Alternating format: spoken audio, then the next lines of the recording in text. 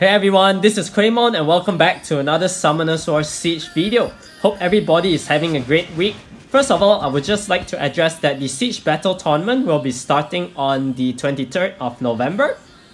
And it will be lasting for two weeks instead of one, which is a very nice change by Com2uS. This gives us more time to prepare. And if you guys want to follow throughout my journey in the tournament battle itself, please make sure to consider subscribing.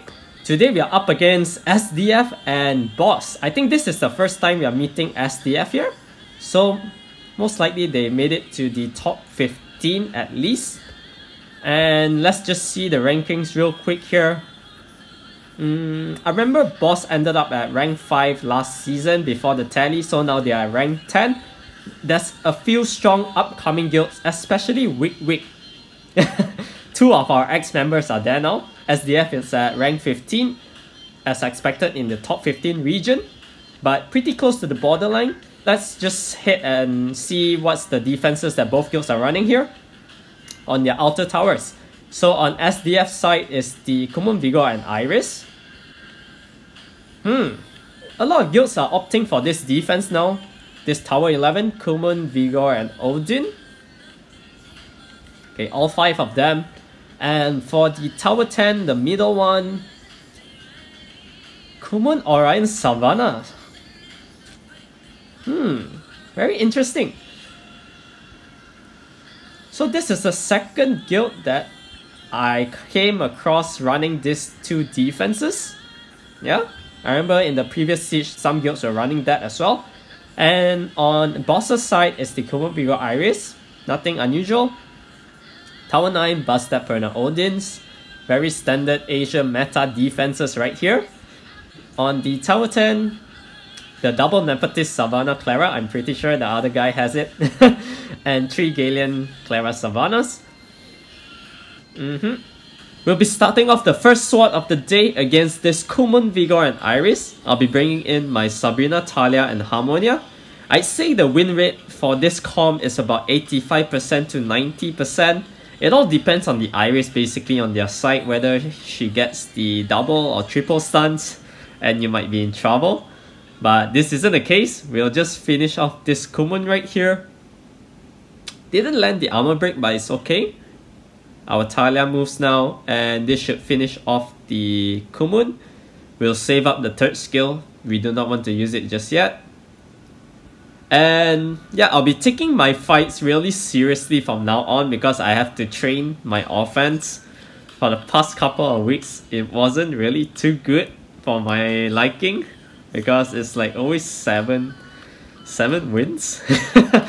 and yeah, I think I am actually quite prepared for this tournament. And after this, there will be two more sieges to train. Yeah, there's almost 90, 90 something K damage. first win of the day. For our next fight here, we'll be up against another Khmun Vigor and Iris defense. This time, I'll be bringing in my Khmun Lauren and Beta. Of course, if you do not have Beta, you could replace her with a Triana and it will work just as fine. First off, you have to kill off that Khmun and you should be good to go. So let's just armor break him right here. Uh, this has the crit. No crit, 8000 damage only. but it's okay. We'll push the attack bar down again. Nice. Prop. No prop. uh, okay, we have to eat that 3 turn armor break. But yeah, this Khmun will be going down here. 35,000. And from here on out, we'll just work on the Iris and leaving Vigor last. It should be really safe from now. Also, when you're up against both guilds running the same kind of defenses, especially on the net force because net force counters is actually really limited in the sense that if you're up if you're going up against this Khmun Vigor Iris over and over again um, for me personally I have two sets of twins and two sets of the Khmun Lauren and Beta. So ideally I can take on at least four sets of it. But um, what I have to do is shift the runes over from the twins and especially my Laurens because I do not have any other sets for them. And it's also efficient in the sense that I do not have to farm another set of runes for them. and yeah, when you're up to end game stage, when you're trying to improve in your siege, what you have to do is make duplicates of everything basically.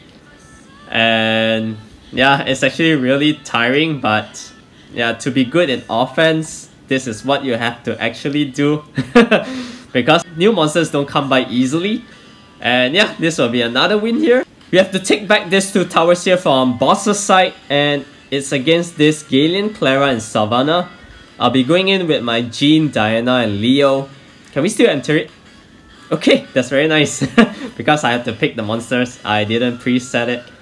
And this comp is actually pretty safe. I'd say so far we only lost to Frank on Candy House's side. But of course his rune quality is really high. I believe he ended up top 10 before on G3 RTA. so yeah. Uh-huh. 14,000 crit on my Leo. Oh, Our Leo is already dead here, so hopefully we can get stun on the Savannah. Okay, that's very nice. We have to kill off this Galleon here. This has to kill him off, if not I might be in trouble.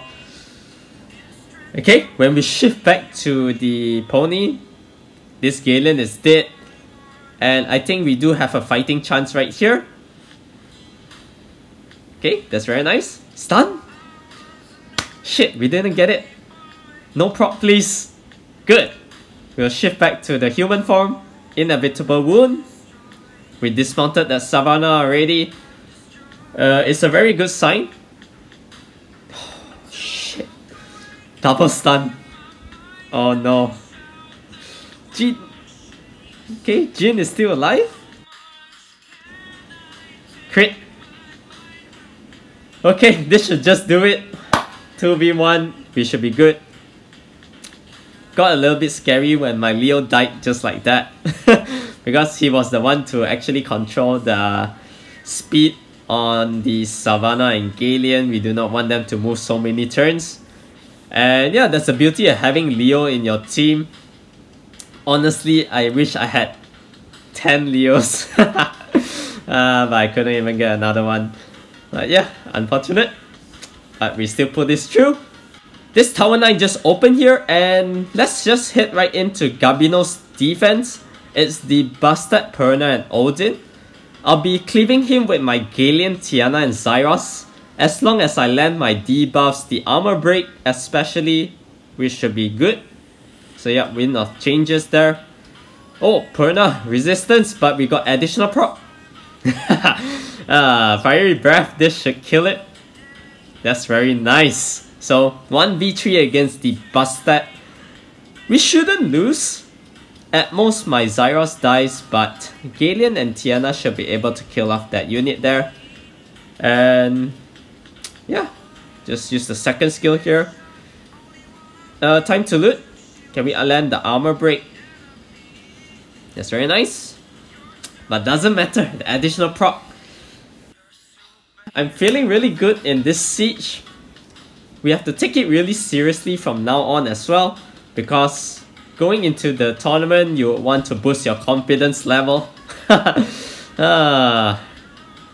Yep, we'll just cleanse away the debuffs from the Bastet and this should do it. This will be another win right here. 4 out of 4 guys. We are finally able to hit this Khmun Vigor and Odin defense. I'll be bringing in my Feng Yan, Veladro and Rina. So Rina's drop here is just to tank up the damage from Odin's side. Hopefully our Veladro can sustain against that Vigor though. Oh, I'm not liking it. One shred and we are almost down to 3 quarters of HP on our Veladro. We'll put the Sanctuary up. And first of all, we should be working on the Khmun. Because I can't really deal with his shield. Okay, there's a nice counter into the armor break. Additional proc. Another one, okay. Can our Veladro crit? That's very important. Nope. uh, Last hit. This Vigor has the heal up. Oh no. Yeah, we'll heal ourselves and continue working on the Khmun. Mm, yeah, we'll just cleanse that. Put the healing buff and the counter. Our... Holy shit, there's so much damage. Oh no. Oh, Bellagio is dead. Right? Chose to heal as well, not to finish up my Bellagio. Ah, can we kill off this Khmun? I'm not sure, man.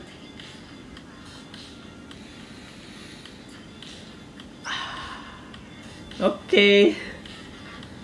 Uh, we have to put the healing buff again into the speed buff and heals from Vigor. Oh my god, this is so annoying. We didn't land the armor break as well on the counter. Ah. Feng Yan, come on. That's nice. It's almost back to full HP. Additional prop. Oh no. Okay, armor break. This is gonna be a very close one. If my Feng Yan dies, we, we will definitely lose this. Okay. We have a fighting chance right here. Because Vigor will be always, both of the units there will be always hitting my Rina now. So yeah, we'll be putting the healing buff here. Slowly heal up our Feng Yan. There's a very nice armor break. So my Feng Yan is back to almost full HP. Come on man, we didn't resist the armor break.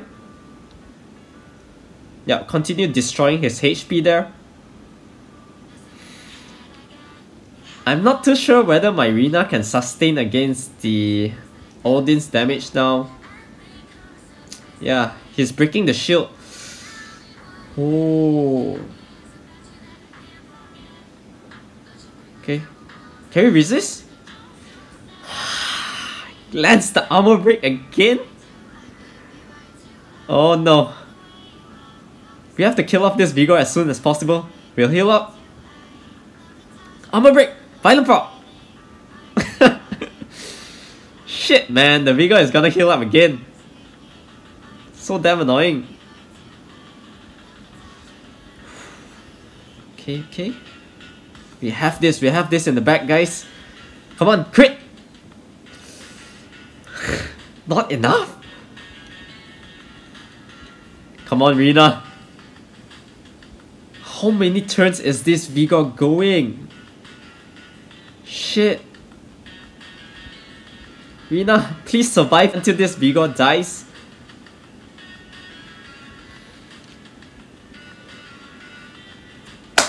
Okay, now we are safe. Even though he has 3 stacks up, we will never buff up for him to steal our buffs. We do not want that to happen, so we'll just try to kill him off slowly.